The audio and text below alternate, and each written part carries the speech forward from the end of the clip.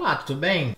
Aqui é o Newton para mais um vídeo, hashtag sextou e nova atualização para raridades do LoL, volta de 60 skins por tempo limitado, 8 novas cromas raras, tira dúvida da loja mítica e recados importantes para a comunidade, bastante coisa para mostrar para vocês. Espero que o conteúdo seja útil e bem informativo para todos. Tentei responder todas as perguntas dos inscritos e mostrar as próximas atualizações, então se puder deixar um like e se inscrever aqui no canal do Notling Games, eu agradeço demais. Um beijão.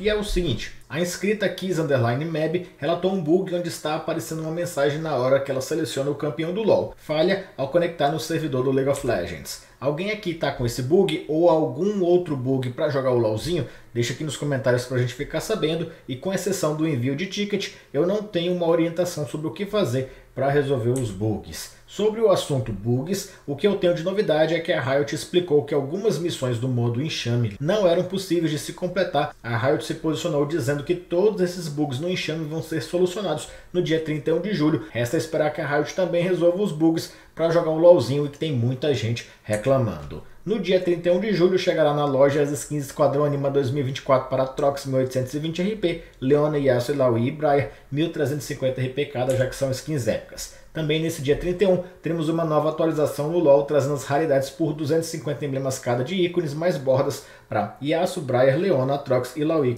Provavelmente também será possível comprar cada ícone mais borda por 550 RP, assim como é possível para as outras skins Esquadrão Anima. O Rioter Alex Quat no Twitter confirmou que existe um bug na borda para a Serafine. O animal dela não é para ser um coelho. No PBS só falta corrigir a borda da Ilaui, que está com coelho ainda. Imagino que nesse dia 31 de julho vão corrigir a borda da Serafine para ficar desse jeito e lançar a borda dos outros campeões da maneira correta com o animal certinho. Sobre a Leona Prestígio, ela é exclusiva por 2 mil emblemas do passe, não vai chegar por 125 essências míticas. Além disso, a Riot confirmou quais são as 5 novas cromas raras por 300 emblemas cada das novas skins de Esquadrão Anima. No caso do Atrox, Ilaoi, Leona, Briar, e o Yasuo. Sobre a Leona, a Riot inventou uma segunda croma por emblemas dela. Se a Riot não decidir inflacionar o preço de última hora, é para a croma também custar 300 emblemas. Lembrando para vocês que nada vai sumir da loja de emblemas quando chegar toda essa atualização.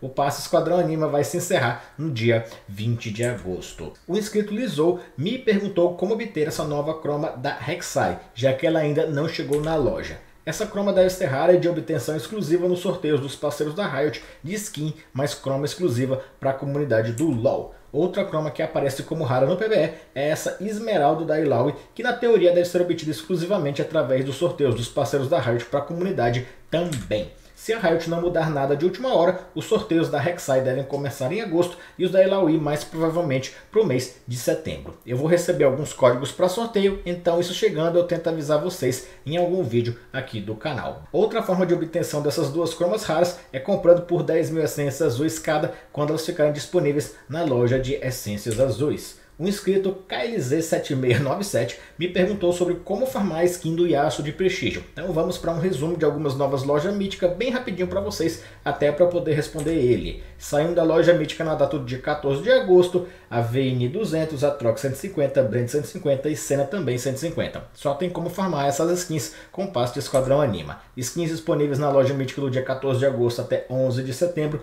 Nenhum passe novo chegará até o dia 11 de setembro. Então por isso só dá para farmar essas skins com o Esquadrão Anima. Yasuo 125, Kaiser 150, Fiora 150, Kiana 200, Karma 100, Nocturne 100 e os Cristais Indômitos. Voltando no assunto de cromas, a Riot confirmou que o Pai Guerreiro das Cinzas voltará na rotação da loja mítica do dia 11 de setembro. Provavelmente vai ter um novo passe para a farm de todas as skins. Soraka 150, Taylor 150, 750, Akali 200, Pai Guerreiro da Cinza 125, N-Hextech 125 e a nova skin do Nautilus Cristais Indômitos no preço de 100 essências míticas. As notas de atualização mencionam que voltará a croma mítica por 40 essências míticas do Pike. Está escrito bem aqui no caso. Sobre a volta de outras cromas míticas, como a da cena, a Riot não se posicionou, então pelo visto não vai voltar nem tão cedo. A última rotação da loja mítica revelada pela Riot foi do dia 9 de outubro até 6 de novembro, com a Miss Fortune 150, Dig 150 e Chaco 125.